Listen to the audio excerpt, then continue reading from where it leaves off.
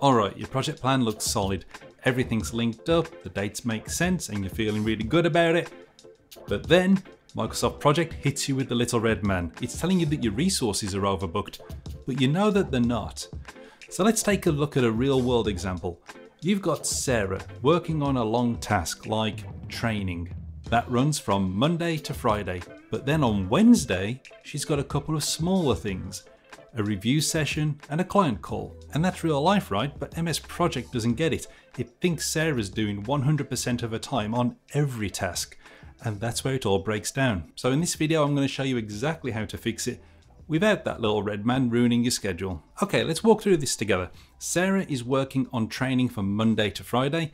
That's eight hours per day. But on Wednesday, she's got a few other tasks taking place. And the second I add those tasks in, boom, over allocated and a little red warning shows up like a flashing siren, and MS Project starts freaking out along with anyone else who comes and has a look at your work. But we know better, and we can fix this, no problem. Option 1. Manually edit work in resource usage. Sometimes the fastest way to solve over allocations is to dive in and adjust directly.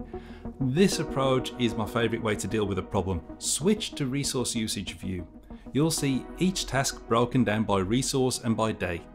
So let's have a look at Sarah's schedule. She's got 8 hours booked for training from Monday to Friday, but on Wednesday she's got those additional tasks and that brings her to a total of 24 hours. That's where MS Project starts to panic and we can see the red font here too. To fix this we change the hours on Wednesday and reduce training task maybe to 4 hours for the day and the other tasks for 2 hours. That's given her the room for the smaller tasks and the over allocation warning is gone simple, precise, and it actually reflects how people work in the real world. Hey, if you're thinking, wow, that's just what I was looking for, hit the like button so more people get to see the video. Option 2, adjust units. So that was my preferred approach, but I have two other approaches that I use that I'm less of a fan of, but they may work for you.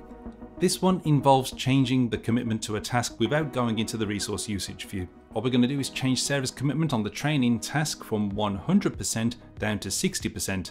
That gives her 40% for all the other work she has to do that day. So how are we going to do that? Well, first we make sure that task mode is set to manual scheduling, or this is going to stretch your tasks into the wrong dates. Double click the task, go to the resource tab, change the assignment unit to 60%. Now repeat for the other two tasks and set them to 20% each. Now here's the catch. This will apply to every single day of the task, not just Wednesday. So use this option only if the resource is meant to be part-time on the task all week. It's a quick fix, but it's not always the right one if you need more precise control. Option 3. Splitting the task. Here's another approach, splitting the long task. This one tends to irk me, as you're about to see, but it has its uses. What if we decided that Sarah isn't working on the main task on Wednesday, and is taking a break for a while to focus on other things or even taking a day off? You don't want to have to create a task for the first half of the week and another for the second half, but at the same time you don't want to have one long task that shows it's being worked on all through the week. So what we do is split the task. Click on the training task and on the task tab hit Split Task.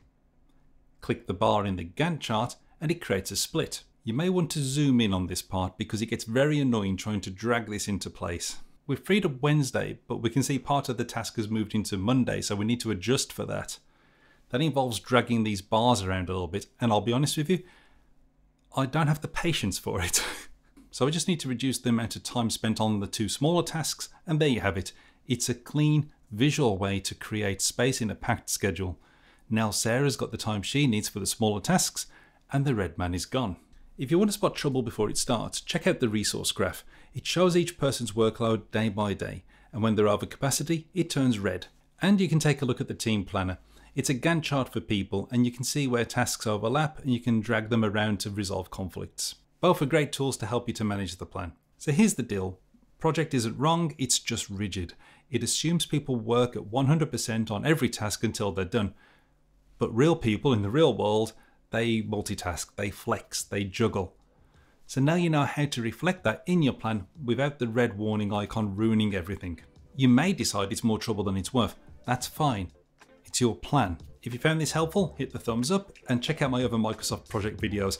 I've got one about how to use Project to its full potential to get really precise scheduling that I think you're going to enjoy. Thanks for watching and I'll see you in the next one.